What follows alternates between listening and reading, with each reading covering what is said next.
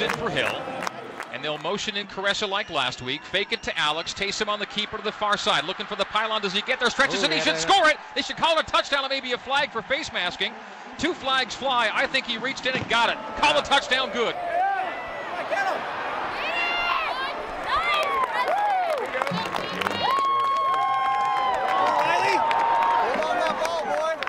Between the hashes. Riley under center. Mendenhall and Alisa in the I. Give to Mike. Runs through one tackler and two. For the pylon. Touchdown!